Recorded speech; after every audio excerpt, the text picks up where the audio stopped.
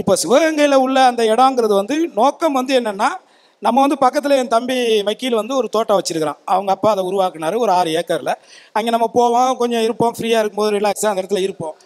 அப்போ ஒரு நாள் என் மனைவி வரும்பொழுது பக்கத்தில் இது மாதிரி நல்லா மரம்லாம் இருக்குது அழகாக இருக்குது நம்ம சென்னையிலேருந்து எப்பாவது வந்தால் இது மாதிரி ஒரு இயற்கையாக இருந்துட்டு போகிறதுக்கு பக்கத்தில் ஒரு ரெண்டு ஏக்கர் இடத்த வாங்கி ரெடி பண்ணுன்னு சொன்னாங்க. அதுக்காக நான் ஒரு ரெண்டு ஏக்கர் பார்த்தேன். ஆனால் அந்த இடத்துல பன்னெண்டு ஏக்கர் ஒருத்தர் மொத்தமாக வச்சுருந்தனால கொடுத்தா மொத்தமாக தான் கொடுப்பேன்னு சொன்னார். அதையும் வாங்கியாச்சு. வாங்கினதுக்கு பிறகு சும்மா தான் கிடந்துச்சு ரொம்ப வருஷமாக ஏன்னா அதுக்குள்ளே பெரிய பெரிய செம்பர பாறைகளாக கிடந்துச்சு. ஸோ அதுக்கு பிறகு வந்து இந்த கொரோனான்னு ஒரு ஒரு விஷயம் உலகம் முழுக்க நடந்த காலகட்டங்களில் என்னால் சென்னையில் ஒரு வீட்டுக்குள்ளேயே உட்காந்துருக்க முடியாமல் ஒரு விரக்தியில் நான் கிளம்பி சரி அங்கிட்ட இடம் ஊர் பக்கம் போவோன்னு சொல்லிட்டு நான் கிளம்பி சிவகங்கைக்கு வரும்பொழுது அப்போ என் தம்பி இடத்துல உட்காந்துக்கிட்டு சும்மா தானே இருக்கும் அந்த இடத்த ரெடி பண்ணுவோமே அப்படின்னு நான் ரெடி பண்ண ஆரம்பித்து இன்னைக்கு நீங்கள் சொல்லக்கூடிய அந்த ஒரு தோப்பை உருவாக்க முடிஞ்சிச்சு.